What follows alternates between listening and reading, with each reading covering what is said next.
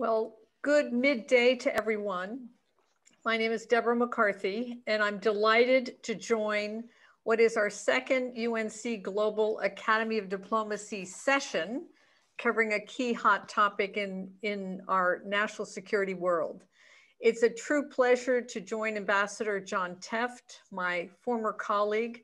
We served together in Rome, Italy, and he was my predecessor as ambassador to Lithuania and also one of the earliest people to sign up for the General and the Ambassador podcast. So welcome to all and thank you.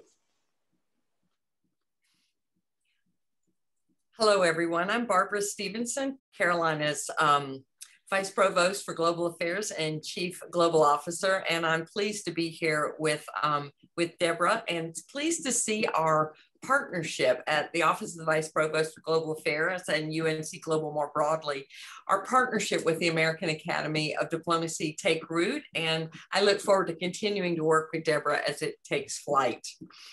For those of you who haven't been able to attend an event as part of our new diplomatic discussion series, today's talk is part of an effort to regularly bring uh, diplomats and foreign affairs practitioners to the Carolina community and into Carolina classrooms. It's part of the charge of my office to infuse the campus with a global mindset. And our partnership with the American Academy of Diplomacy has been central to the launch of the series, which is itself part of a broader effort. Here at Carolina, we're working to strengthen our capacity to educate students about the theory and practice of diplomacy, and particularly American diplomacy. We seek to build on UNC's standout strengths in area studies, including five national resource centers, the most of any university in the American Southeast, and our advanced language studies. Carolina students who develop sophisticated, a sophisticated understanding of how American diplomacy works will be better prepared to fulfill their potential as the next generation of global leaders. And some Tar Heels may even be drawn to pursue careers in diplomacy, foreign affairs, and national security, as I was, as Ambassador McCarthy was, and as Ambassador Tefft was. Our students have listened to a podcast featuring Ambassador Tefft. They've had a class to discuss the content. And now we have Ambassador Tefft joining us to share more about his experience and more of his expertise. And he'll actually be meeting with the class immediately after, um, after this to talk directly with students and connecting his expertise to their coursework. So by creating opportunities for students to engage with foreign affairs practitioners like Ambassador Tefft, we want to highlight the achievements and the meaningful careers that await students who take full advantage of Carolina's language and area studies strengths. The demand for these skills is high and the success stories, like Ambassador Tefft's, are real. Ambassador Tefft was a career Foreign Service officer for more than 45 years. He completed his service as the U.S. ambassador to the Russian Federation from 2014 to 17. He previously served as the U.S. ambassador to Lithuania, to Georgia, and Ukraine. He worked his way up the ladder to these key leadership positions, gaining experience as Charge d'Affaires and Deputy Chief of Mission at the U.S. Embassy in Moscow. His other Foreign Service assignments include Jerusalem, Budapest, and Rome can't think of a better person to come and engage with our students than Ambassador Tefft. I had the pleasure of working with him in the early 90s during one of the few times in his career when he wasn't working on Russian issues. I was the junior UK desk officer and he was in charge as the office director for Northern Europe, which was uh, 10 countries with some significant portion of global GDP, as I recall at the time, John. The UK, Ireland, Benelux, it was a great office, and the Scandinavian countries. He's one of America's most steeped Russia experts, but I doubt he would describe himself that way. He was never one to flaunt his numerous achievements or awards, like his two Presidential Meritorious Service Awards his Secretary of State's Distinguished Service Award, and his Diplomacy for Human Rights Awards. And that's not even the full list. Ambassador Tefft, it's a pleasure to see you again. We're so lucky to have you with us today. Thank you for taking the time to speak with us and our students. The floor is yours. Well, thank you very much, Barbara, and uh, also to Deborah. It's really a pleasure to be uh, with everybody today, but especially to be on the same uh, panel here with uh, two of my good friends and uh, distinguished colleagues from the Foreign Service. Uh, let me start with the most important things first. I want to congratulate all the Tar Heel fans who are on this on this virtual presentation today on your new basketball coach down in North Carolina. I've always admired Hubert Davis as a player and a coach and really a fine man. Uh, as some of you who've read my bio know, uh, I'm a Marquette University graduate. So I too am looking forward to a more normal basketball season this year with our new coach, Shaka Smart. Uh, and yes, those of you who are looking over my shoulder, that is my Green Bay Packers cheesehead hanging on the wall right there. More seriously, I thought I'd try today to do two things. First of all, to highlight what I consider three important trends in contemporary Russia. And then second, to look at the direction the new Biden administration seems to be taking toward Russia and the Eurasian region as a whole. And I look forward to discussions with Professors Lemke and Jenkins, as well as comments and questions from everybody who's participating today. As a way of understanding Russia, I think we face uh, understanding Russia as we now approach the halfway point in Putin's fourth presidential term. Let me highlight three trends uh, in contemporary Russia. Uh, my observations, which are admittedly made from a distance due to the COVID restrictions. First of all, there's a growing popular indignation in Russia over the lack of any real future perspective for the country, particularly among the under 35 generation. Protests, as we've seen in recent months and over the past year, are being met with increasingly repressive tactics by the government. Second, Russia is in a long trough of economic stagnation with little real end in sight. Living standards have basically been flat for a decade, and this has fed the declining trust in Putin and his regime. The third major uh, trend that I'd like to highlight is Putin's clinging to his uh, what I call his post-imperial policies, with little evidence to date that he really wants to change his approach. Indeed, over the last few weeks, he's dramatically raised pressure on Ukraine with a massive military buildup on land and in the Black Sea adjacent to Ukraine. And this has been accompanied by a very shrill ramp up of propaganda directed at Ukraine, but also against the United States and Europe. As a way of leading into the talking about these three trends, though, let me tell you a, a short story. Uh, I'm going to take you back to June the 12th, 2017. This was Russia Day It's one of Russia's newest holidays. And this was just a few months before I was due to complete my assignment as ambassador in Moscow and return, return home. That day, I, I was with uh, all the other ambassadors on the main square inside the Kremlin for Putin's annual outdoor barbecue. Every year, he gives uh, he gathers government ministers, politicians, celebrities, diplomatic corps, and prominent Russians from every field it's really a great chance for the diplomats to hobnob with politicians, uh, partly because the politicians often speak more candidly at the event because it was outside and it was harder to monitor conversations. But as we were gathered in that Kremlin yard, something very interesting was happening about a mile from the Kremlin. An unauthorized demonstration had been organized on Tverskaya Street, one of the main streets in central Moscow. The statue of the great Russian poet Pushkin is just off Tverskaya, and for many years, that square around his statue has been the place where demonstrators of all types have gathered. This demonstration was a bit different, however. It was one of what we later tallied were 89 separate demonstrations spread all across the Russian Federation. Alexei Navalny and his opposition team had used the encrypted Telegram internet messaging service to organize a nationwide protest across Russia frankly, it surprised the Kremlin, and I think it certainly surprised almost all the domestic and international observers. My staff and I noticed another major change about this demonstration. There were many young, more young people out on the streets of Moscow protesting that day. I remember reading an interview the next day in the press in which a journalist, uh, which a journalist had conducted with a young female university student who was arrested that afternoon. She was in her second year at Moscow State University one of Moscow, Russia's most prestigious schools. She came from a very good, well-connected family in Moscow. She seemed to have everything going for her. Why, the interviewer asked her, did she risk it all to demonstrate and get arrested? And her answer was very simple. She thought Putin and his cronies had only one goal, stay in power and continue to rake in huge sums of money from the state and Russia's major industries. She said she saw no future perspective in her country. She saw no real hope. Things needed to change. Well, this story leads into my first point that the growing popular indignation against Putin's rule, particularly among younger Russians. The views expressed by that young woman in 2017 have now been embraced, I think, by many more young people. Other observers, including Jill Dougherty, the longtime CNN correspondent in Moscow, and now a fellow at the Wilson Center, have also noticed and written about this. The phenomenon is growing.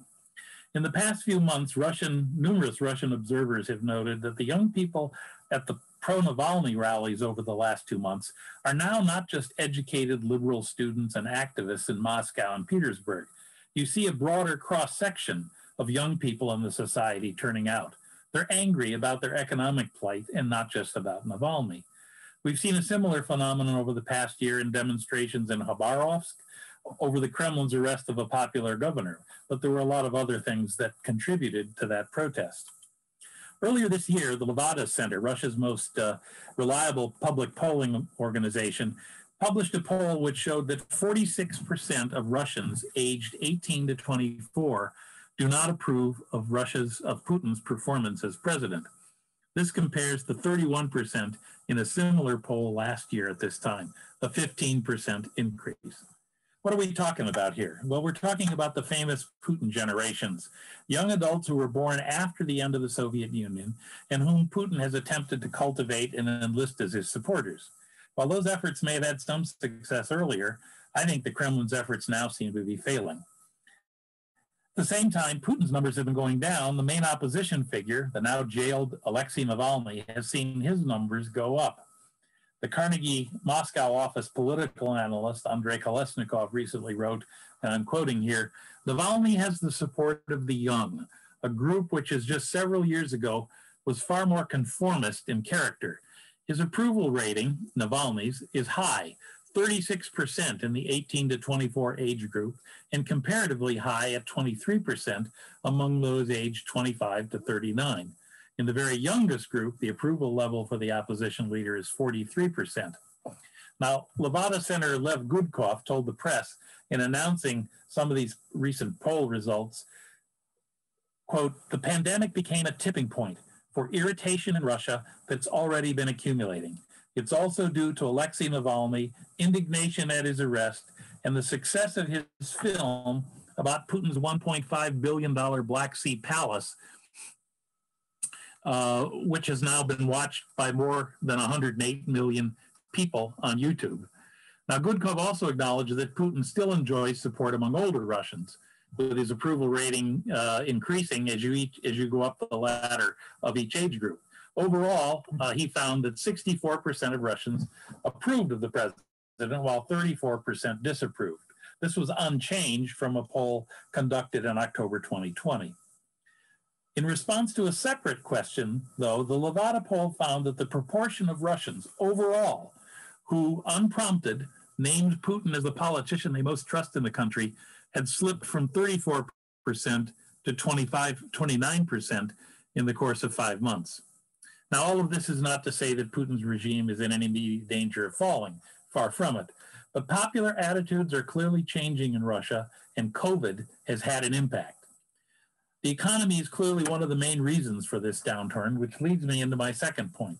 The Russian economy has been relatively stagnant for years, and the pandemic has only made the situation worse. Clearly, the economy is one of the main reasons for uh, this downturn, and the down the the Russian GDP has essentially dropped to about dropped by about 3.5% over the last year when the pandemic raged in, in Russia and around the world. This is, of course, considerably less than some other developed Western economies, but it's still significant. The longer term trends, however, are still very bad. And here's, I think, the, one of the key points. The Russian economy has, on average, grown little since the 2008 2009 world financial crisis. In, put it in context, from 1998 to 2008, the Russian economy averaged a 7% rate of GDP growth. This growth helped produce a massive increase in household income and a decline in poverty. It was due in no small part to the dramatic rise in the price of oil during these years. However, more recently, the economy has settled into a prolonged state of very low growth, particularly after the Russian invasion of Ukraine in 2014. One of my diplomatic colleagues has estimated that overall Russian growth, if you go back over the last quarter century, has really amounted to only two thirds of 1%. Until recently, Russia had done pretty well on the macroeconomic side of the ledger.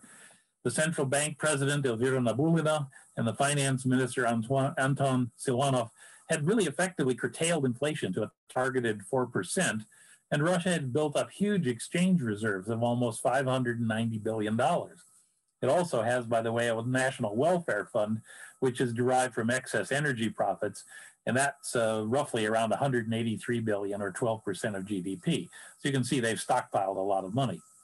However, in the last few months, inflation has jumped. It's risen to 5.8%, and the government has clamped price controls on basic food items as popular anger grew over skyrocketing bread, sugar, and pasta prices. These rising food prices have actually hit Russians very hard, especially those who have been suffering, who've lost jobs, uh, who have no income anymore during the pandemic. There's been a steady decline in disposable incomes before the COVID pandemic, but it's been exacerbated by the pandemic. Some people estimate that today's average uh, disposable income is one fifth lower than it was in 2013. And here we go, the tie in to the popular dissatisfaction that I have talked about. I think overall, there's no secret why Russia is caught in what appears to be an unending cycle of economic stagnation. The business climate is bad, corruption is rampant, Western sanctions continue to have a negative impact on the economy, and the state continues to take control of more and more of the economy. Two thirds of the Russian economy is now estimated to be under state control. And of course, Russia's reliance on energy experts has not changed much at all. Instead of economic reform and opening up the economy, Putin has increasingly closed the economy off from the world to the disadvantage, I believe, of ordinary Russian citizens. Is it any wonder that thousands of educated young Russians have been leaving Russia for work in high tech centers in the US and in Europe in recent years? Now, one of the most outspoken analysts of this phenomenon has been Alexei Kudrin, a name some of you may know, a longtime friend of Putin from St. Petersburg and former finance minister and deputy prime minister. He's currently chamber, chairman of the accounts chamber. On January 13, 2017, the last time I saw him, he was uh, made a presentation to the Gaidar Economic Forum in Moscow. This is one of the premier economic uh, discussion forums uh, in Russia. And he bluntly told the international audience then that the old Russian economic model just wasn't working anymore. He said Russia faced serious challenges, including the country's demographic problems, lack of investment, economic sanctions, and Russia's distancing itself from world markets. He said Russia was technologically backward, had low productivity, and suffered from poor quality of public administration. He concluded that the main problems lie inside Russia, and its main problems are the institutional and structural problems that have accumulated today. Now, Kudrin struck similar notes in October 2018. This is after I'd left Russia, when he said that most of Russia's troubles were self inflicted, an issue of domestic institutional structural reforms, as he put it. He said that if current inertia and policy continues, and I think it has, the relationship with the United States will not improve for five years and can only happen under different leadership in Russia and the States. He seemed to believe that Russia will not succeed without improving its relationship with the United States.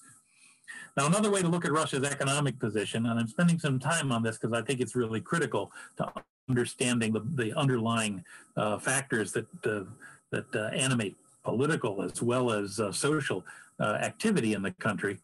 Another way to look at this is that when Putin took over as president in May 2000, Russia was still emerging economically from the trauma of the 1998 financial crisis. Putin promised Russians that he would raise their standard of living and ensure what he called dynamic economic growth. He estimated in particular that Russia could reach Portugal's level of per capita GDP within 15 years if it kept to an 8% annual growth rate, or it could even hit France's or the UK's level if growth reached 10%. At a recent web conference, uh, a Russia specialist at Harvard used the uh, purchasing power parity statistic to compare Russia and Portugal and uh, today to see how far Putin has been able to succeed in his efforts. According, and this is what I'm going to give you now, is before the, uh, the pandemic. These are numbers from before the pandemic and their impact on the economies of all countries. According to the World Bank, uh, uh, purchasing power parity statistics, Portugal's GDP in 2019 was at $36,639. Russia was at 29,181, a $7,000 plus discrepancy. Why is Russian growth stagnant? Well, I think Putin's 2014 decision to invade Crimea and subvert the Donbass as well as its, its resultant economic fallout was a major cause, which now leads me into my third point. The cost of Putin's attempt to extend Russia's power and influence in what Russians call their near abroad has been significant. In addition to the impact on the overall economy, Putin's attempt to make Russia a great power again has cost Russia both investment and foreign credits. Military power is a key part of being a great power, but so is economic development. Russia's actions in Ukraine and elsewhere have led to widespread criticism in the West and a sort of semi isolation in the world. Western leaders talk to Putin, but you don't see him being invited to visit Western capitals. The latest statistics I've seen on Russia's costs in Ukraine alone show that they're spending roughly $5 billion a year there. This is composed of a budget subsidy of about 3 billion and an infrastructure investment of about 2 billion a year in a region that is one of the most corrupt places I have ever visited uh, during my foreign service career. Now, Russia is also still putting additional monies into Syria, uh, but it's very hard to calculate that because the Russian military budget is so uh, untransparent. Now, Putin, I think, is going to continue to pay uh, to put this money in. It's uh, for him, it's relatively small, small amount, but it's also a key part of his program to make Russia great again, uh, to make it a great power respected in the world. Now, overall, I think despite uh, its current military saber rattling, Russia is fundamentally in uh, what one of my good friends has called the post imperial period. Putin and his colleagues have tried to roll back some of the changes of 1991 when the Soviet empire collapsed. But I think Putin's only been marginally successful. Russia is still an economically declining power, as I've laid out. Putin still hopes, however, to use Russia's modernized nuclear arsenal and improved conventional capabilities, which were largely paid for by the energy windfalls of the first decade of this century, in order to enhance Russia's great power status. I think, however, that it's unlikely that Russia can keep pace with China and with us as long as it doesn't reform its economy. Its continued reliance on the energy sector and failure to diversify really doesn't augur well for the long term. I've long thought that Dmitry Trenin, who is the director of the Carnegie Center, Moscow Center, had it right when he argued back in 2011 in a book he had he entitled The Post Imperium. And here I'm quoting from Dmitry. He says, Russia is no longer an empire, and it's not going to be one again. However, many features established in the imperial period are still felt to this day. Russia is not merely lost in transition, but also in translation. The real name of the game is historical transformation, which takes much longer, generations rather than years or even decades, and it has no immediately identified and, and identifiable end station. Now, many diplomats of my generation spent substantial parts of our careers dealing with the fallout of Russia's imperial decline and Putin's attempt to reverse it. Trenin argues that it's not just the desire to reassert Russia's control over its neighbors that we need to pay attention to. We also need to understand that following this path is also preventing Russia from moving ahead with its own internal transformation or its own internal modernization. He put it succinctly in the, this final statement I'll read you. Russia is no longer an empire, but it is not yet a nation state either. To be seen as a great power in the 21st century, it has to reform its institutions and economy and become a great country. I think this remains true today as, it, as true today as it was in 2011. The problem, however, is that Putin and many in the Russian elite, particularly the Siloviki, the hardline former officers in the intelligence services, who are some of Putin's closest national security advisors, they still don't accept this point. There's no recognition yet among these people that trying to run a 19th century imperial policy abroad is not very consistent with building a successful 21st century global economic power. Now, the military exercises which Russian forces have conducted over the past weeks in Crimea and in Western Russia, adjacent to the Ukrainian Donbass region, they appear to be, at this point, classic saber rattling, designed to intimidate the Ukrainians and to show the Biden administration and our European allies the potential of Russian power. I don't think this has surprised anyone, frankly, in the uh, Biden administration. In its most recent public assessment, I've seen the Pentagon officials have said the current intelligence does not indicate that this land force, and I'm told it's somewhere in the 80 to 100,000 troops participating in the maneuvers, that this land force is prepared for offensive operations in the next phase, partly because there's no evidence of logistics, spare parts, fuel, and medical capabilities being organized that would be needed uh, to be able to conduct a massive military campaign of invading uh, Ukraine. Now, obviously, this can change quickly. There's things we don't know. The danger of miscalculation is always there. Uh, the Pentagon has also said there are no indicators that Russia's been reducing its forces or signaling a de escalation. And this is the reason why you've seen President Biden and his key foreign policy advisors, as well as NATO and European leaders, repeatedly calling on Putin to de escalate. This leads me to the last part of my presentation. How does the Biden administration, how are they setting out to deal with Russia? Let's go back for a second to January. Most foreign policy experts cheered when Biden reached quick agreement with Putin in their first phone call on January 26th. They agreed to review for five, they agreed to renew for five years the US Russia New START arms control agreement, which had been signed by Presidents Obama and Medvedev in 2011. This is a relatively easy action, and it signaled a desire to maintain a stable nuclear balance with Russia, even as both sides discussed other areas of contention. In that same call, Putin and Biden agreed to explore strategic stability discussions on a range of arms control and other emergency security issues. I think this is good too.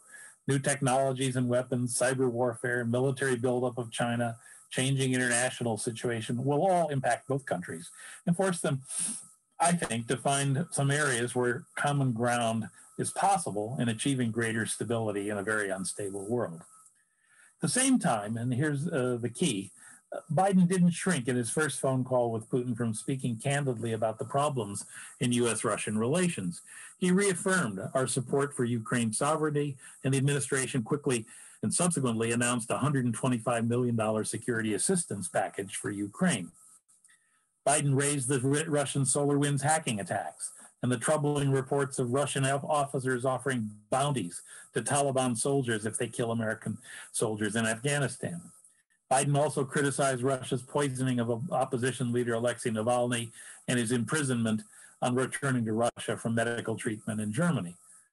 Not long after that first call, the Biden administration joined several joined European Union in sanctioning seven senior Russian figures for their roles in Navalny's poisoning and his subsequent imprisonment.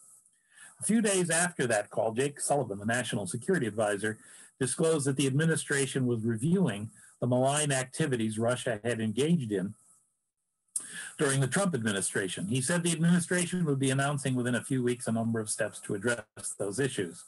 Sure enough, on April 13th, the administration announced steps that it planned to take.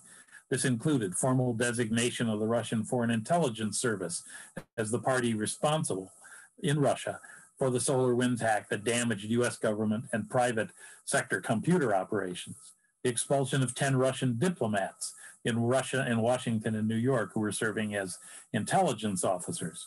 The signing of an executive order which imposed new sanctions on Russia, specifically barring US financial institutions from participating in the primary market for bonds issued by the Russian central bank and other leading financial institutions. This will drive probably drive down Russian bond prices and push interest rates up, making it more expensive for Russia to keep their own country running.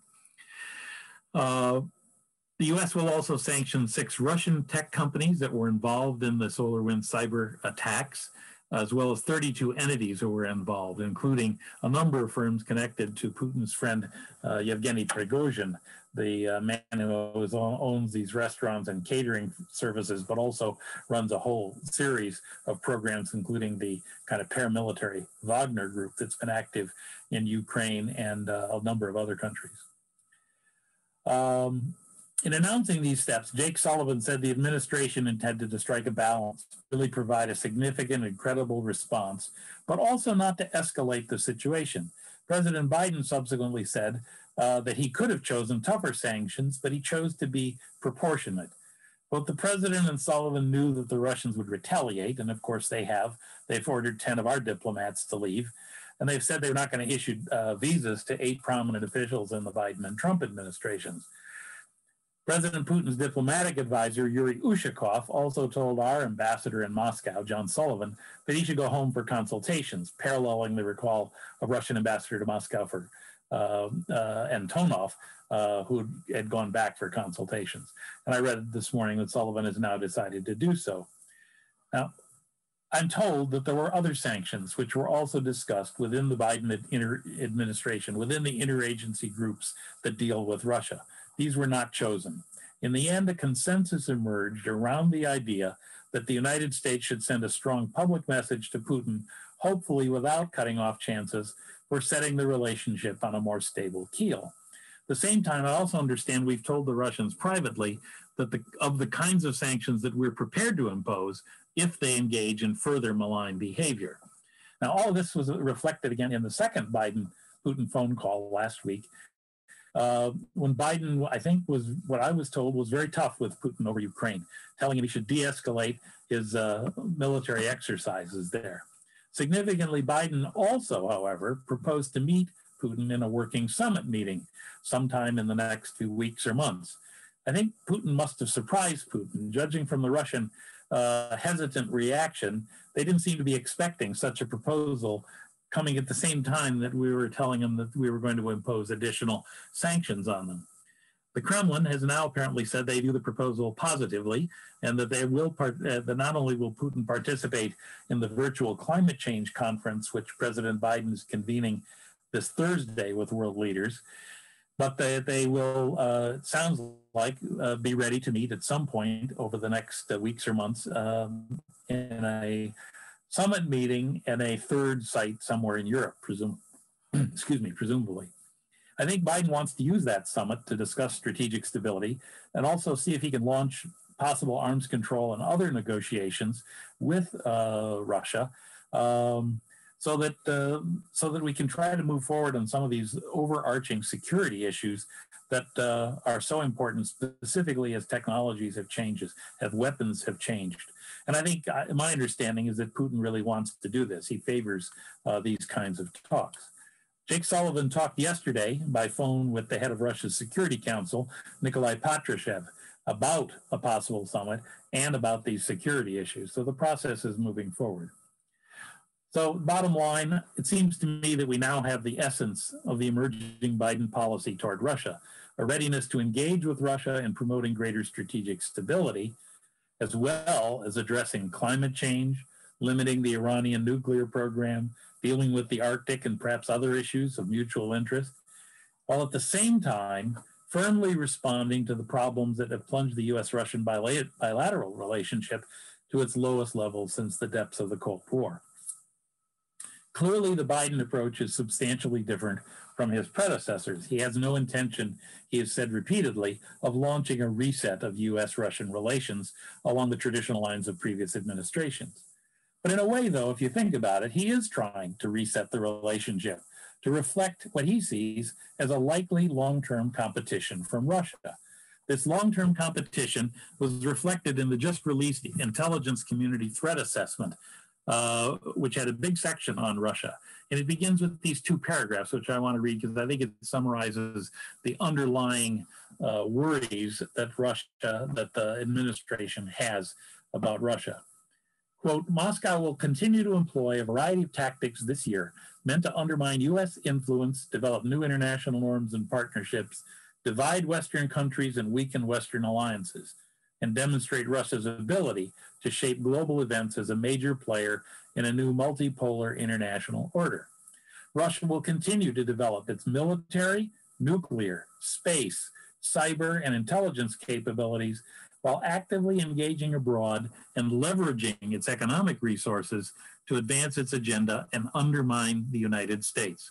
We expect Moscow to seek opportunities for pragmatic cooperation with Washington on its own terms, and we assess that Russia does not want a direct conflict with US forces. So I think what we're seeing is the president and his key advisors trying to find a way of managing the clash of our fundamentally different global and political interests within the, with the Putin regime across a broad spectrum and to avoid conflict. Central to his approach is obviously rebuilding our ties with our allies and forging a common approach with them toward Russia. I think in the back of his mind, Biden hopes that uh, he can assure he can develop a more stable relationship with Russia, which will permit him to deal with what the administration sees as a big the biggest emerging threat to our country, and that's China. I think uh, Biden will look uh, will likely have a harder time, frankly, convincing our allies to forge a common line toward Beijing than he will toward uh, Moscow. So Biden last Thursday in his press conference said the following, summarizing, I think, succinctly his approach.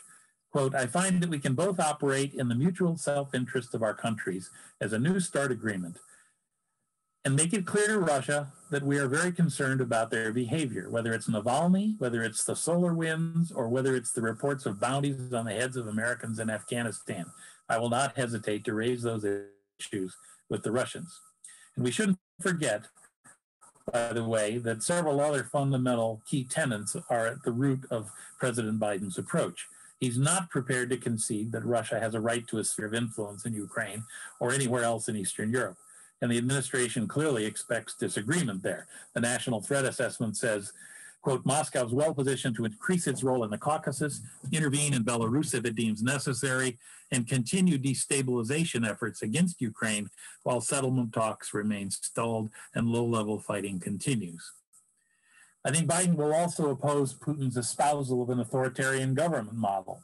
He will continue to push for democracy and human rights, which have been a part of the traditional base of our policy toward the Soviet Union and Russia since the signing of the Helsinki Final Act in 1976. And as Biden has said many times, most recently last Friday when he hosted the new prime minister of Japan, he wants to show that democracy works at home and abroad and that it can benefit ordinary people. In closing, and I'm sorry if I've gone on a little too long, I think it's also important to note that in his phone call and actions last week toward Russia, Biden seized the initiative. He sought to define the relationship we will have over the immediate future. He put his ideas out on the table.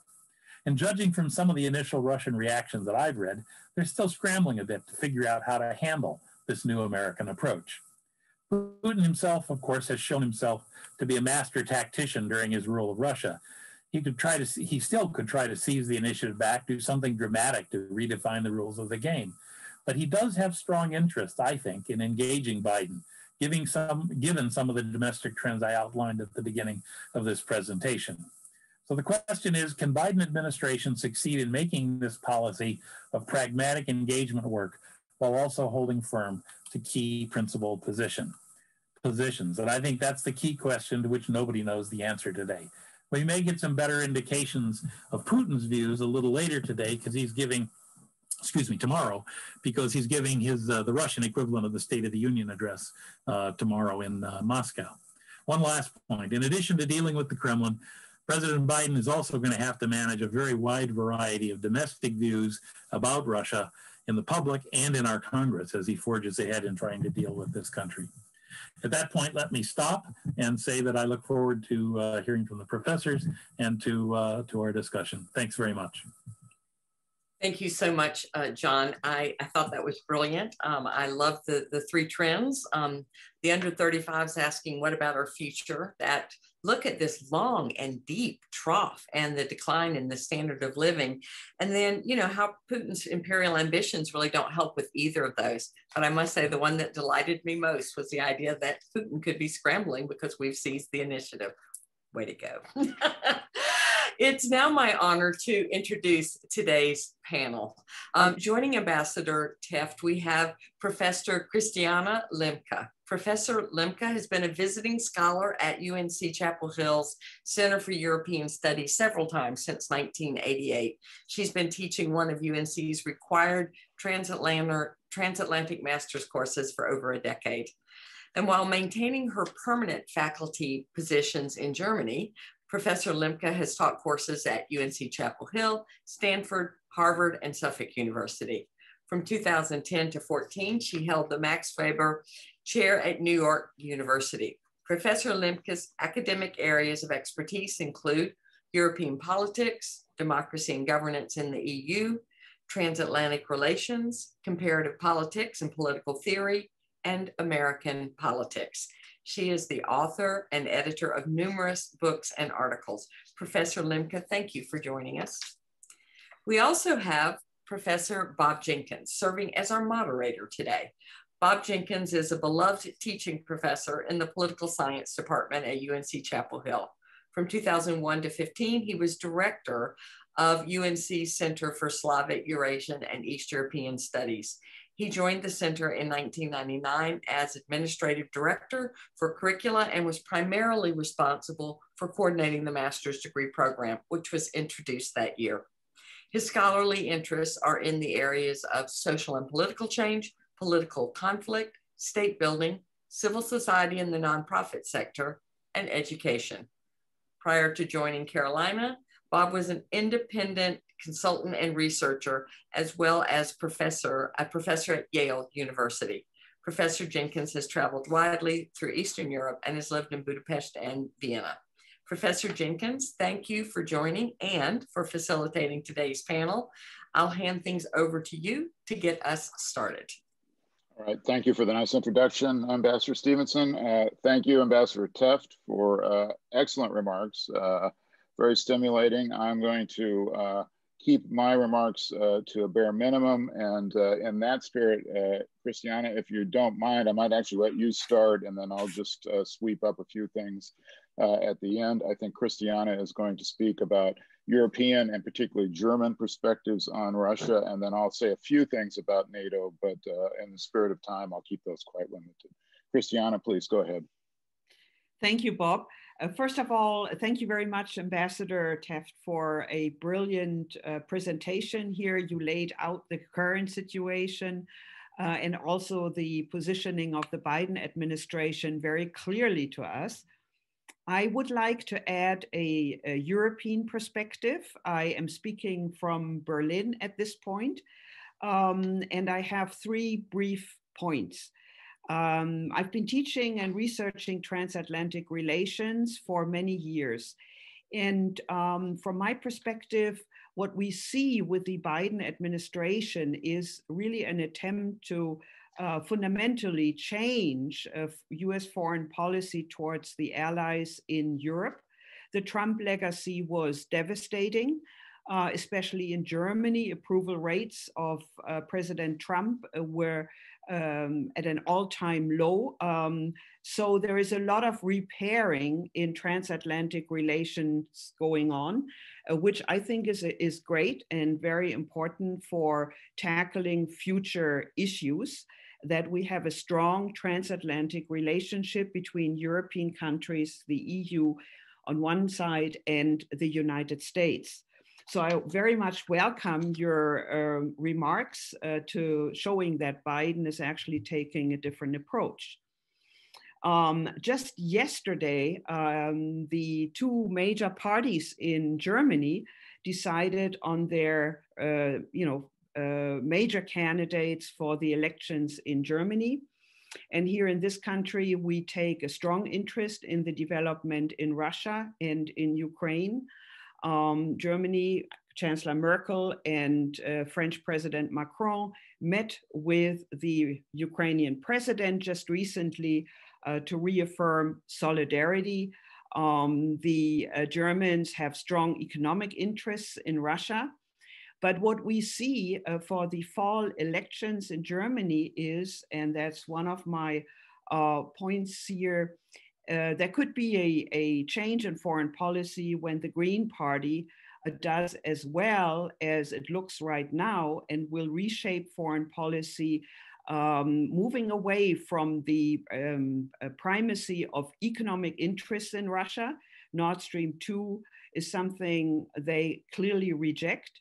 Um, so moving away from this kind of pure German uh, trade policy um, and emphasizing more human rights, uh, emphasizing a common European approach, and also uh, a stronger coordination with the United States.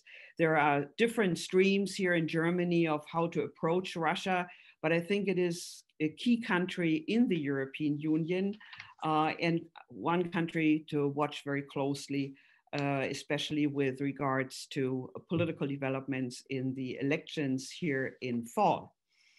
Uh, my third point, and I have to be very brief, I know there are a lot of questions out there, is about the European Union as such.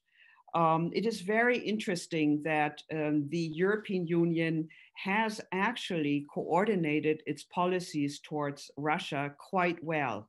Uh, there's always criticism about EU foreign policy saying, well, 27 countries, they all speak with different voices, they can never agree on anything. This is not true regarding uh, Russia.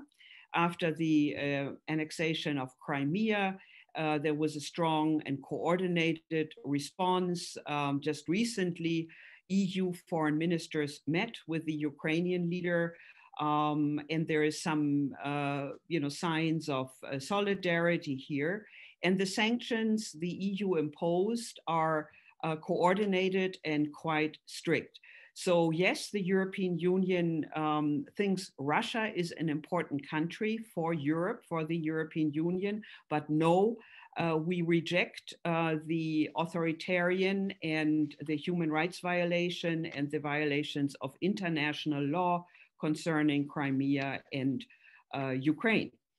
Um, what uh, will the future look like? I think one of the important points that we really need to uh, address is uh, how can the US and the EU work together, closer together, coordinate policies, and what could be what could be a common ground and I think that um, you know there is no um, uh, one single topic, uh, but clearly de-escalation of military confrontation is uh, important.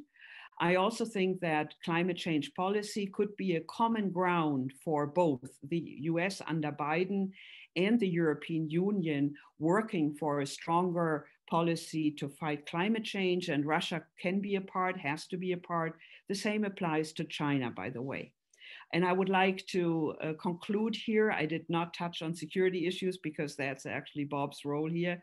Uh, yeah, thank you very much. Thank you, Christiane. Uh, so just briefly, I, I, would like to note um, that, you know, the post-Cold War NATO-Russian relationship uh, has had various twists and turns. Uh, it began uh, in a kind of spirit of cooperation, though uh, it's frequently noted that NATO enlargement challenged Russia's notion of spheres of influence. Uh, and uh, I would actually add to that uh, a point that the ambassador made in his remarks. NATO's embrace of democracy in new member states challenges Russia's perceptions of threat as well. Uh, and uh, that may be equally challenging to the military challenge that we see. of course, first in Georgia, though the response there was less united, and then uh, in Ukraine, where NATO did respond uh, fairly united, we see the traditional military strength of the alliance coming out. And that's most visible in the enhanced forward presence, uh, which has deployed small battle groups to the Baltic states and to Poland uh, and has really united uh, NATO, as long as well as uh, increased commitment to burden sharing, the so-called two percent of GDP commitment that came out uh, of the Wales summit. Um, finally, NATO's responded by increasing its uh, technological and scientific efforts as well. It's developed new centers of excellence. Uh, those are very important in the full range of spectrum of security, and I think those were very positive.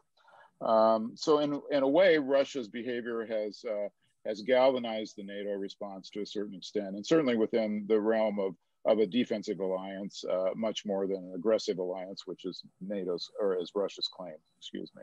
Uh, so I'm just going to uh, start a quick question for the ambassador. Um, your presentation uh, focused on what we might call uh, a carrots and sticks approach to Russia. Um, it's a kind of combination of, uh, of traditional uh, hard military approach, though softened by the realities of, of the post-Cold War environment with chances for cooperation, and you talked about it mostly in bilateral terms. I'd like to open that up to some of the bigger multilateral issues that, that we face. Um, obviously, uh, Iran is one that's on everyone's agenda right now, uh, and a retreat from uh, the Trump administration policy there, an attempt to, to get uh, both the US and Iran back into the Joint Comprehensive Agreement. Uh, but there are other places like Syria or Libya uh, and uh, you mentioned, and Christiane mentioned climate change in China. I would add one area that hasn't been mentioned yet, and that's the Arctic. Where do you see possibilities of cooperation for the US and Russia in a multilateral context? Thanks very much for your uh, your question. Uh, uh, I did actually slip in the Arctic there in part because I uh, spent some time when I was ambassador in Moscow from 2014 to 2017 uh, working on Arctic Council things. We were the chair for a number of the couple of years in that period. And it was actually one of those areas which, uh, you know, for want of a better term, we kind of walled off from all of the other bilateral problems and we had visits by American experts, and uh, the, there would be meetings. I think there was one in Helsinki, and then there was another in Norway uh, during my time there. And we actually tried to, to, to find common ground. There's the Arctic Council does a lot of good work on a variety of things uh, related to uh, uh, environment uh, and helping the, the the, the, peoples, the native peoples who live in the northern parts of the many of the Arctic uh, countries.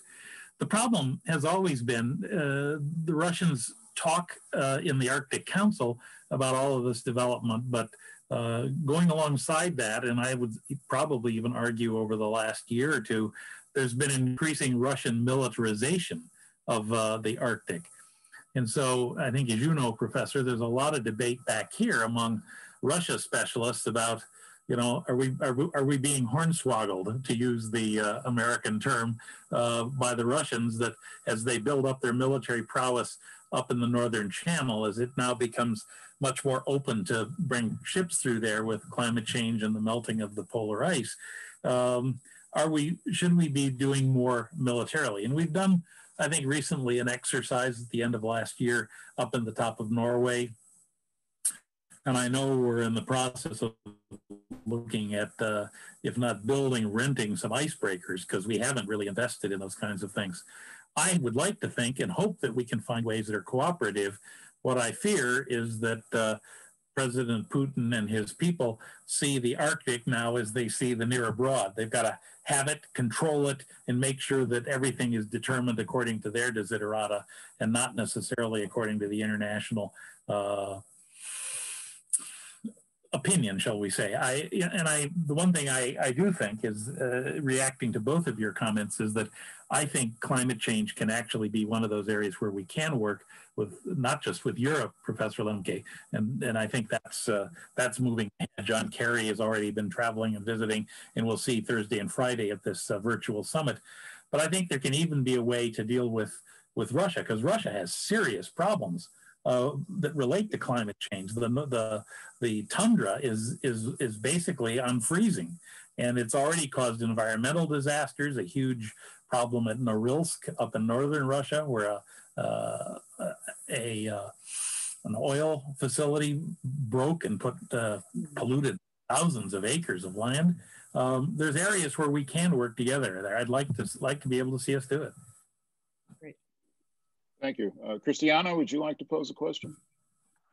Yeah, I mean, um, one of the key issues uh, you touched upon at the end of your talk was how do you strike a balance between, yes, we want to engage Russia, but at the same time, we want to um, we want to maintain our kind of uh, value-based foreign policy, meaning democracy, human rights, uh, protection of the environment. These are very important, you know, uh, um, basic values that uh, we want to maintain and strengthen, and we don't want to give up and just say, well, um, when we deal with Russia, uh, it's that is not important or secondary important. But how do you strike this balance? I mean, between uh, these uh, two contrasting goals?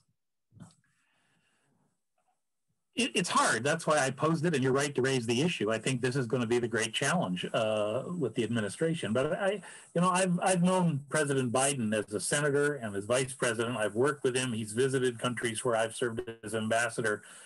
And if anybody can do this, it's probably him, Professor, because he he can be uh, both very tough and engaging at the same time. He's one of the most uh, capable, I think, American politicians. And I don't say that because he's the president. I've, I've watched a lot of American politicians in action over the years, especially dealing with Russia and Ukraine and some of these places that I've served. Um, I think what we've seen in the phone calls with Putin is, is, is what we're going to continue to try to get.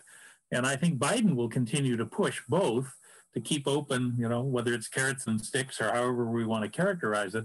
Um, the key question is, will Putin play this game? And uh, I, I, think, at least from what I, the read I got from the, the second phone call last week, is that Putin is very much interested in getting things going on not only strategic arms control, follow on to uh, the New START agreement, but he wants to do something in the intermediate range because he knows his own economic problems.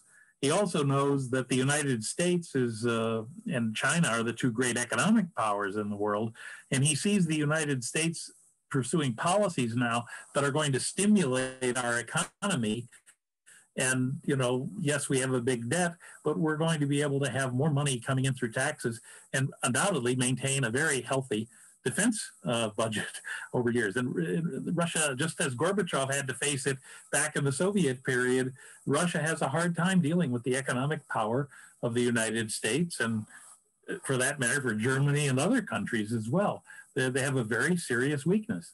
So I think he has an incentive to try to do this, and hopefully that will triumph over his fear of democracy and his anger at Navalny and uh, you know, hopefully he will pull back on some of these crazy things he's trying to do with Ukraine, where the majority of people, as polls show, want to be part of the West. They want to be not part of any kind of Russian neo empire or uh, under their sphere of influence. They want to be connected and travel and work and do things with uh, Europe and the United States. Thank you. Uh, so I'm going to open it up. We're, we're close to the end of time, but we'll see if we can squeeze a few extra minutes. Adnan Džumhur, who's the Associate Director of the Center for Slavic, Eurasian, and East European Studies, uh, has been uh, looking at questions that have been put uh, in the question and answer. Uh, I'm going to ask uh, Adi to uh, give us a, a, good, strong question here now, please. Yes, thank you all for a delightful um, conversation. A lot of questions um, that are coming in um, are touching on Ukraine. Obviously, Ukraine is on everyone's mind um, considering um, what's been going on there over the last few weeks.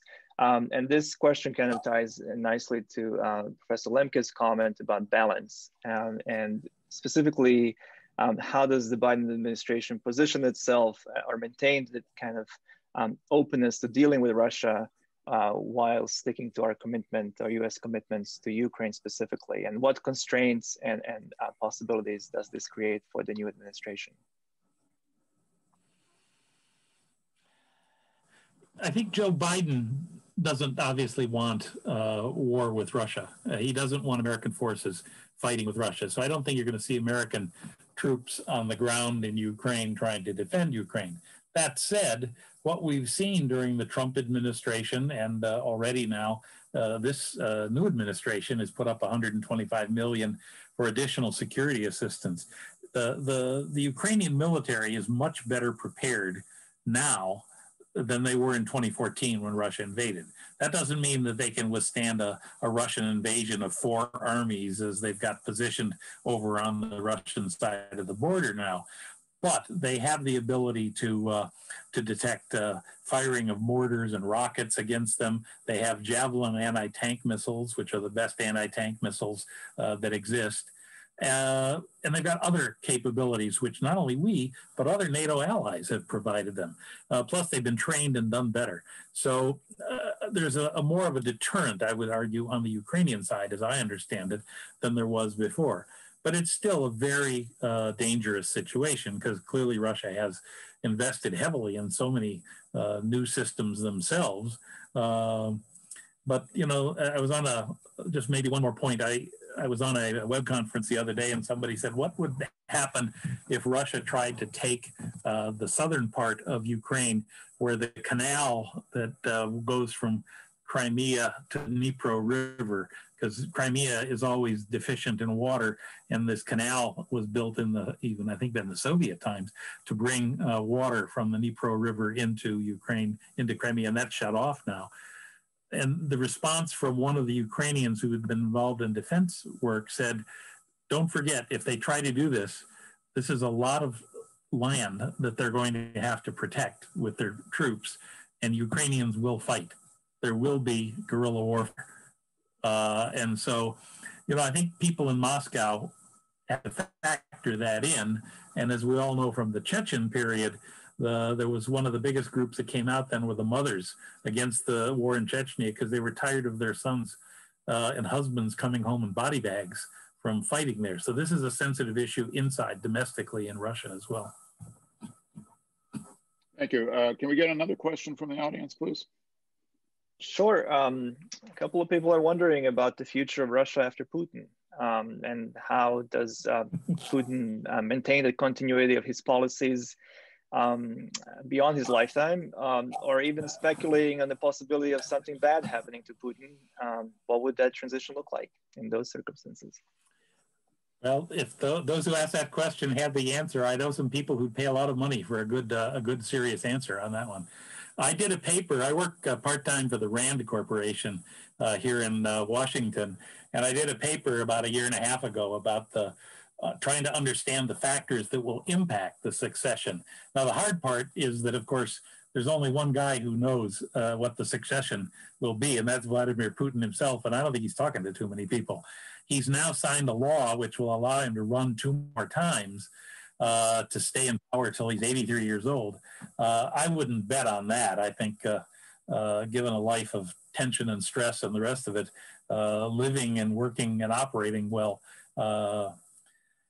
is going to be hard. I think the key part of this to understand, and I don't have any particular insights, is the Russian elites. You know, the Russian elites are actually uh, united on the surface because Putin insists they be united. But there's actually wide divergence of views uh, that I saw when I was in Moscow, and I'm sure they've only grown.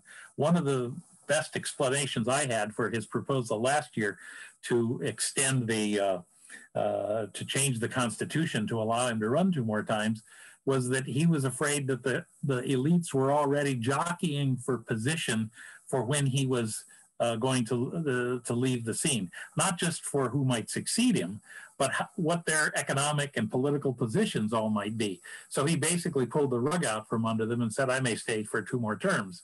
Um, that's not going to stop the Russian elites. I know too much, too many of these people, and I know that this is going to be a continuing issue for them. Um, ultimately, though, it's uh, it's Vladimir Putin who has to decide how and on what terms to do it. And then there's a very serious question: is can he keep Putinism in place given the problems that they have? Will the successor come in and want to try to change things to remedy some of those problems quickly or perhaps over time? Uh, let me just follow up on that, Ambassador. What do you mean when you speak of Putinism? Um, well, we could have another whole session on this, Professor. It's, uh, I think it's fundamentally Vladimir Putin, the, the policy that's evolved, and he has changed over the 20 years that he's the ruled Russia, shall we say, as president or prime minister.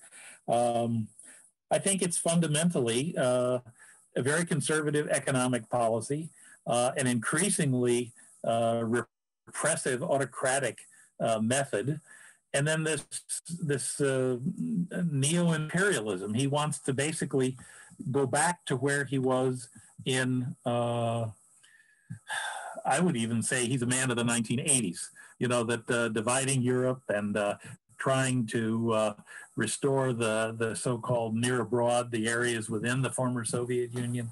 These are all part of what he wants to do. But because they don't have the economic resources to do this, they, they haven't been able to succeed. Now, you can go a lot further and talk about other transformations in the society itself, but I think those three are still the, the big issues that, uh, uh, that reflect his approach. Um, and I, I, think some of them are leading in the wrong direction. They're not, uh, they have an impact and a negative impact on each other, as I tried to outline in my remarks. And those are each, all three related to uh, his decreasing popularity at home, I would suggest. Yeah, I think that's right. You know, the biggest uh, uh, development on popularity took place after I left in 2018. Uh, they announced that they were going to change the uh, retirement age. Uh, and you'll remember that the people, old people, went out on the streets, not young kids from the university, but old people, because when they changed the male uh, pension age to 65, everybody knows that the average life expectancy in Russia is now 65. so if you're looking at the averages, it doesn't look too good for your pension. Uh, not getting it at the age of, I think, 62 was what it was. Uh, women are a little bit higher; they live longer, um, but still, it was it was going to substantially impact the uh, availability of pensions to a lot of people, and it caused demonstrations or prompted demonstrations all over Russia. I think we have time for one more question from the audience. Uh, Christiane, do you want to? Go ahead, Christiane, please. Yeah, I quickly want to add, you know, that Putin is an increasingly lonely uh, autocratic leader. I mean, his circle of people is very small. And um, I also think that uh, transition from Putin to another leader will be very, very uh, complex and messy because our expectation that civil society could kind of change uh, such a system, we look at Belarus, Lukashenko is still there, you know, even though protest is widespread.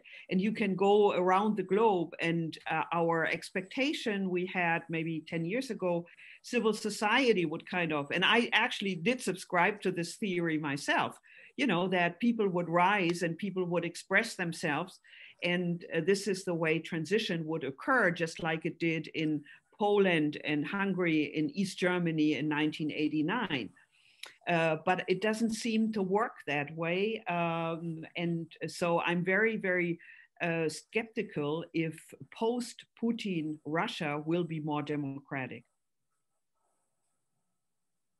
Let's try to squeeze one more question from the audience. Yeah, absolutely. And the last one should probably go to a student. We have a retired um, a student who retired from the military and is now um, an undergraduate here at UNC, double majoring in global studies and peace war defense.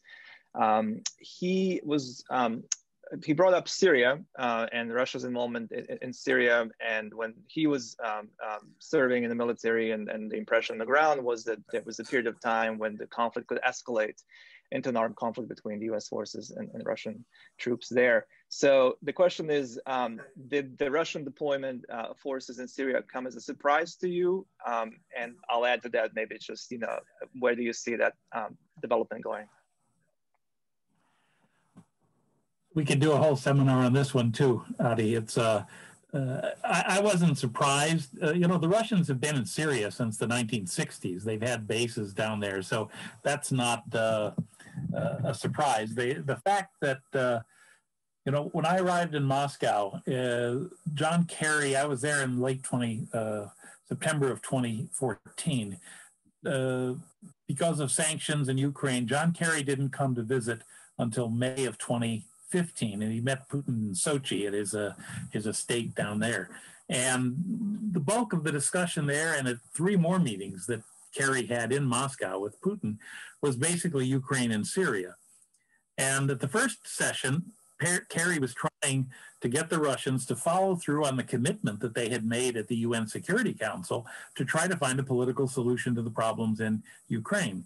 But was clear then and throughout the summer of 2015 is that the, the Russians, Putin put it this way, not Russians, Putin and the Kremlin were not prepared to move that far. And then we saw in September, uh, working with the Iranians, the Russian military started bombing and attacking. And uh, the whole idea of a transition with Assad moving aside and having free and fair elections kind of went down the drain. And that was very much a Putin Kremlin decision. Um, I think it's just, it's heartrending, tra tragic when you see the role Russia had in, uh, in bombing and killing innocent people and supporting this bloodthirsty Assad regime. Uh, uh, just when I was in Moscow, I just found it sickening to open the pages of the papers every day. Um, but what have they gotten out of it? Okay, they have their military base there, but they've still got the northern part of Syria is still basically under the control of Turkey and the Syrian Kurds. Uh, what has Russia succeeded? They have their base on the Mediterranean, so East Mediterranean uh, access to the sea is important, a place for their ships to come in. But, uh, you know, the place is just a, a god awful mess. And Russia's not doing much to change the situation, improve the situation for Syrians.